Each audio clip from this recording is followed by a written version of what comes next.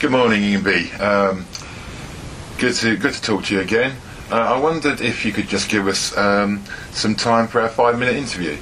Uh, uh, three questions, um, no longer than five minutes, and here we go. Um, 2011 was a pretty busy year for travel retail. What were the main events that stood out for you in terms of development and sales? Yeah, good morning, Tag. Very good morning to you. Um, when we look back uh, at uh, 2011, what really struck me was uh, the the um, the nationalities of China and Brazil and Russia that I think finally made their mark on these on this industry. You know, they are high spenders. We know that uh, that the Chinese spend uh, per transaction up to 200 US dollars, for instance, when they visit, visit USA. And I'm uh, part of my background was in Asia, and it's uh, fascinating to see this nationality now coming around the world. And uh, as you know, less than one percent of the Chinese population travel internationally today. And you and everybody else in the industry can only imagine what will happen when we we see two percent to three percent even even of the Chinese population travel, and also. Uh, the Americas, United States, uh, is, a, is a country that has always been a great interest to the Chinese. And when the U.S. decide that no visa are no longer required mm. to visit U.S., I mean, there will have a tremendous boom in that business in, in, in, in the Mid-Pacific and on the U.S. West Coast especially. So, um, uh, uh, sorry, if I could ask you to, to speak up a little bit. Yeah. Um, so, tip of the iceberg, really, then?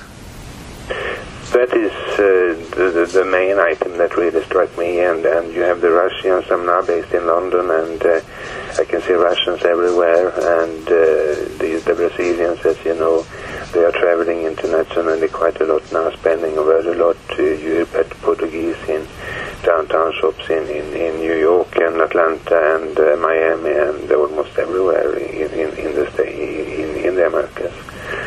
And uh, secondly, I would say that um, I'm quite impressed by the, the recovery and the resurgence in the sales of liquor, of alcohol, partly fueled, of course, by, by Asia, the, the, the business there, and, and uh, the Chinese and the South Koreans uh, buying high-end uh, uh, liquor products. These are the, really the two main main main events or the main things that struck me for, from last year. That's fascinating. Um, uh, just to, to, keep ourselves on time and within our five-minute format, I'll, I'll crack on. Um, in terms of assessing the performance of business in 2011, what would your feeling be about the overall development in terms of how the industry performed as a whole? Well, I think it's, uh, you know, this industry is very resilient. It had few challenges, but it performed, in my opinion, very well if you compare to, to uh, like uh, tourism that uh, I understand grew by 4.4% last year or international travel that grew by about 6% and here we are talking about a figure of nearly 18%. We have the figure, pre- the, the preliminary result is that, uh, or that um, the business ended at 46 billion last year, which is up 17.9% in 2011. We have to remember, however, that uh, the US dollar weakened last year and we have had inflation, price increases and so on and uh, I'm tempted to say that the real growth of the business mm. came to about half that number or about 9%, which is still well above uh, when we talk about uh, the growth numbers in tourism and travel, meaning effectively that uh, mm. passenger spend has increased, fueled again by, by the Asian nationalities, I would say. And, and, you know, without pressing you much further, because I realise these are preliminary figures. I mean, just very quickly, uh, categories um, that you feel did particularly well in um, 2011.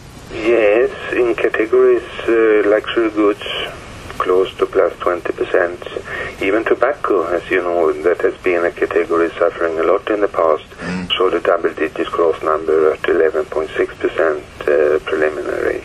Again, the Chinese are, are, heavy buyers of tobacco, for instance, and Asians in general. Um, so that was very, very encouraging. Uh, beauty grew by about 19%. Right. And in terms of channels, again, we, we have to consider that uh, we have excellent downtown shops in Asia Pacific, and they, they, that channel was the star performing channel in last year at 20.1%, and uh, as a region, Asia Pacific grew by 22.9%.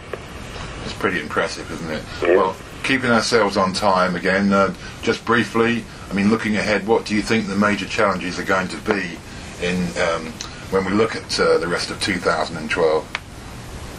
Well, I think, I mean, this industry has always been dependent on eco-political developments and national disasters, short term and so on. And we cannot um, look beyond the fact that we need some co- some kind of settlement in Europe, for instance, with the euro crisis, where we will sort of restore some confidence in people, especially Europeans, so they continue to to, to, to, to travel. And uh, hopefully the euro or this crisis will come to an end during next year or in 2013. And then we will see some sort of stabilization, at least in Europe, which is a very big part of the global business. Also, the Arab Spring in the Middle East might calm down, and we will see people again travel to places like Egypt and Libya, and Bahrain, for instance. But the main challenge, Doug, I would say, I sincerely hope that we will not have an overheated economy in China. Because if you have a collapse in China, and we don't have that ingredient in our industry, I mean the Chinese travelers, then we are we will face some serious difficulties, I believe. I mean, it's a it's a big question and um, obviously a difficult one to ask you. Uh, but uh, what sort of um, chance do you think there is that might happen?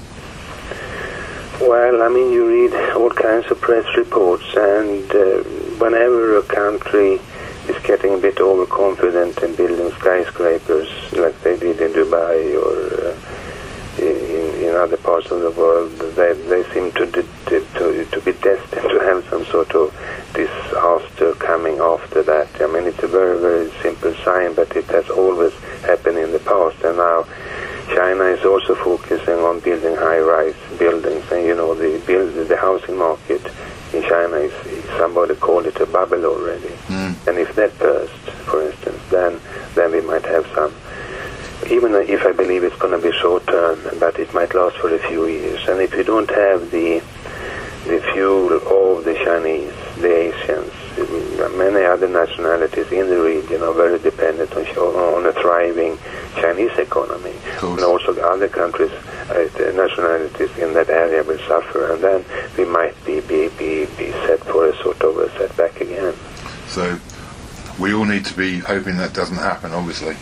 Absolutely. I mean, uh, China has, is, is already becoming a giant economy, and uh, you know, if we look 20, 10, 20 years ahead, certainly th- that is the growth area for, for all suppliers in the in the in the industry. I would say.